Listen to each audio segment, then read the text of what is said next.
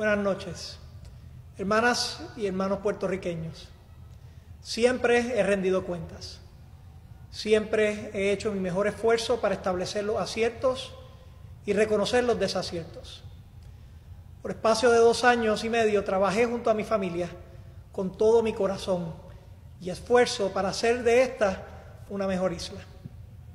Y a pesar de que siento que queda mucho por hacer, estoy profundamente agradecido con aquellas personas que dieron un paso al frente junto a mí para dar lo mejor de sí en esta encomiable gesta.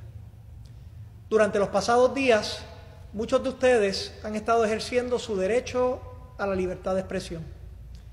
El reclamo ha sido contundente y lo he recibido con el más alto grado de humildad. Desde que juramenté al cargo, he puesto todo mi empeño para que mis decisiones siempre tomasen en cuenta el bienestar de nuestra gente. Las horas dedicadas a la confección, elaboración y ejecución de los planes de trabajo son horas donde mi único norte ha sido la transformación de nuestra isla. Cuando juramenté como el duodécimo gobernador, lo hice consciente de los retos de aquel momento. Era la primera vez que en nuestra historia, donde tendríamos que trabajar con una junta de supervisión fiscal impuesta por el Congreso de los Estados Unidos.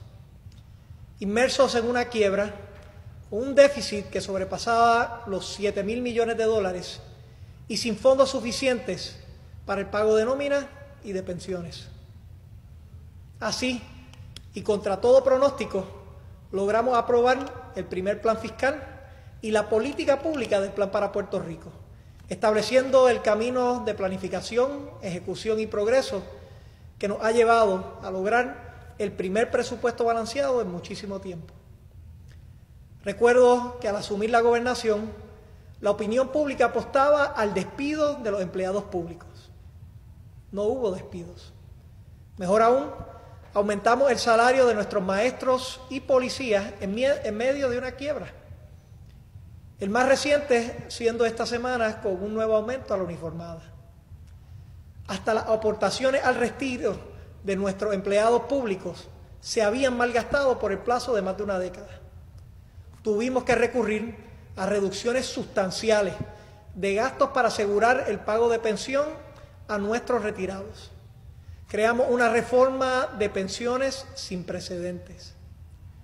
La Junta entonces pretendió el recorte de jornada, la eliminación del bono de Navidad y los recortes de pensiones, pero lo hicimos frente y prevalecimos. Enfrentamos el discrimen de un gobierno federal contra los puertorriqueños. Los recursos que Puerto Rico ha comenzado a recibir para su reconstrucción son el fruto de nuestro trabajo y reclamo, junto a la comisionada residente y a nuestro equipo de trabajo ante el Congreso Federal. Esos fondos federales continúan fluyendo y ahora comienzan con proyectos de mitigación que totalizan 3 mil millones de dólares. Hoy tenemos el primer crecimiento económico positivo en más de una década, con 4.1% de crecimiento, y el, y el desempleo más bajo en toda nuestra historia, sacando a miles de padres y madres del sufrimiento de la pobreza. Tras un pasado de aumento en cargas contributivas, bajamos los impuestos y creamos el crédito al trabajo para la clase media trabajadora, que otorgará hasta dos mil dólares más para el bolsillo del puertorriqueño. Creamos nuevas industrias en Puerto Rico como el cannabis medicinal, video gaming, apuestas deportivas, criptomonedas y facilitamos la inversión en renglones importantes como el turismo. Reformamos los permisos reduciendo el tiempo promedio de 100 días a 20 y creando un sistema integrado. En el área de infraestructura tenemos varias alianzas público-privadas listas para este semestre que incluyen la transportación marítima y la privatización de la transmisión y distribución de la Autoridad de Energía Eléctrica. Pasamos una ley de vanguardia donde aspiramos a tener 40% renovables para el 2023 y 0% en quema de carbón para el 2020. Establecimos abriendo caminos donde ahora estamos invirtiendo en nuestras carreteras sobre 652 millones de dólares y el impacto se está viendo. Reparamos las finanzas públicas con ajustes y recaudos extraordinarios que nos permitieron pagar reintegros, cumplir a suplidores y emprender iniciativas de justicia e innovación social. Nombramos la mayor cantidad de mujeres en posiciones de envergadura en toda nuestra historia. Establecimos la igual paga por igual empleo, el maletín empresarial para la mujer y hoy firmé la licencia especial para las víctimas de violencia doméstica. Defendimos los derechos de la comunidad LGBT. De la misma forma, fomentamos la integración de las organizaciones de base de fe en los diversos proyectos ejecutivos como lo son las escuelas iglesias. Miles de puertorriqueños hoy tienen opciones para escoger educación para sus hijos con los vales educativos. Al igual que cientos de miles pueden escoger su servicio de salud a través de toda la isla con el plan vital.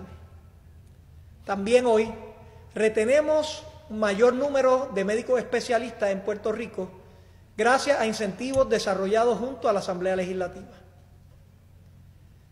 Establecer mecanismos para combatir la corrupción ha sido nuestro norte, creando la oficina del Inspector General, el Código Anticorrupción, la Unidad de Fraude de Medicaid, reportes de las finanzas públicas, registro de cabilderos y recientemente la nueva ley de compras y subastas, encaminándonos a tener un sistema que le dé mayor certeza y mayor credibilidad al pueblo que combata la corrupción. Quiero hacer especial mención del trabajo de la primera dama, impactando comunidades y restaurándolas con el programa Fortaleza para ti, asegurando el bienestar de los animales con iniciativas como el Spyathon. Beatriz nunca paró de trabajar por nuestro pueblo y siempre le otorgó su corazón. A final de cuentas, los resultados son lo que más vale. Reconozcamos que son resultados favorables en el peor escenario imaginable. Esta hazaña no surge por arte de magia ni por suerte. Esos resultados emanan del trabajo, sacrificio y amor que uno aplique. Me entregué, di el máximo dedicándole día y noche, fines de semana y días feriados para atender cada una de las necesidades de mi pueblo. Ningún gobierno ha logrado implementar cambios transformacionales que hacen del Puerto Rico de hoy un lugar más equitativo y más justo. El mes de septiembre del 2017, la naturaleza nos hizo recordar nuestra pequeñez ante los designios y voluntad del Dios. Todos fuimos testigos de cómo dos huracanes categoría 4 y 5 pasaban por Puerto Rico con tan solo 14 días de diferencia. En la respuesta inmediata de estos fenómenos, pasamos de ser víctimas de estas tormentas devastadoras a ser el centro de respuesta para nuestros vecinos en el Caribe. Ante un embate y sufrimiento ocasionado por el huracán Irma, y mientras encaminábamos nuestra propia recuperación en los pueblos más afectados de la isla, tuve el privilegio de dar la orden y trabajar en la coordinación del rescate, transportación y cuido de miles de personas que, que se vieron afectados por los estragos de esta terrible tormenta. Una vez más, demostrando el corazón, generosidad y desprendimiento de mi pueblo, en colaboración con agencias hermanas del gobierno federal, llevamos a cabo la misión de rescate más grande en la historia de los Estados Unidos en el Caribe. En todas las decisiones que he tomado como gobernador, he puesto mi empeño para que siempre éstas hayan tenido en cuenta el bienestar de mi tierra. Las horas dedicadas a la confección, elaboración y ejecución de los planes de trabajo son horas donde mi único norte ha sido la transformación de nuestra isla y el bienestar de nuestra gente. Aún en los momentos de tribulación, siempre he sentido que mi responsabilidad era cumplir con mi trabajo en el término prescrito en ley. Estaba dispuesto a enfrentar cualquier reto, teniendo el pleno entendimiento que prevalecería ante cualquier imputación o cualquier proceso. A pesar de contar con el mandato del pueblo que democráticamente me eligió, hoy siento que continuar en esta posición representa una dificultad para que el éxito alcanzado perdure. Luego de escuchar el reclamo, hablar con mi familia, pensar en mis hijos y en oración, he tomado la siguiente decisión. Con desprendimiento, hoy les anuncio que estaré renunciando al puesto del gobernador efectivo el viernes 2 de agosto del 2019 a las 5 de la tarde. Estos días estaré atendiendo asuntos pendientes que viabilicen una transición ordenada. A esa hora culminaré mi mandato y daré paso al proceso de sucesión establecido por nuestra Constitución para juramentar a quien en ese momento corresponda completar el proyecto trazado para este cuatrienio. Hoy honro la Constitución con mis acciones, la misma Constitución que permitió que en noviembre del 2016 fuese electo, la misma Constitución que permitió la libre expresión del pueblo y la misma Constitución que permitirá una transición ordenada conforme a sus disposiciones. Disposiciones que fueron concebidas por grandes puertorriqueños que dieron cátedra en el 1952 al configurar una constitución moderna, progresista y sabia. Pero al igual que se celebra, hago un llamado a defenderla y a preservarla por ser el vehículo legal en virtud de la cual nos organizamos políticamente. La persona que asuma el peso de la oficina que he tenido el honor y privilegio de ocupar necesitará la voluntad ciudadana y el apoyo de aquellas personas que trabajan incansablemente en pro de nuestra tierra. En estos momentos, de acuerdo con el ordenamiento jurídico, esa persona sería la actual secretaria del Departamento de Justicia, la licenciada Wanda Vázquez. Confío en Puerto Rico continuará unido y hacia adelante como siempre lo ha hecho. Espero que esta decisión sirva como un llamado a la reconciliación ciudadana que tanto necesitamos para seguir adelante teniendo el norte, el bienestar de Puerto Rico. Culmino mi mandato y lo más que deseo es la paz y el progreso para nuestro pueblo. La transformación y el progreso no están vinculados a una sola persona. Es producto del trabajo unido de un pueblo.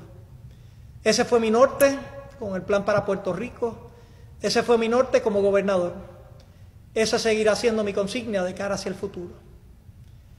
Que la fuerza unificada del pueblo se pueda canalizar en energía constructiva. Que la ley, el orden y el progreso sean parte esencial de esa receta. Que optemos por crear y construir instituciones que respondan a la gente y no produzcan caos y desgobierno. Gracias por el privilegio de haberme permitido servirles. Ha sido el honor más grande para mí y para mi familia. Dios proteja a Puerto Rico.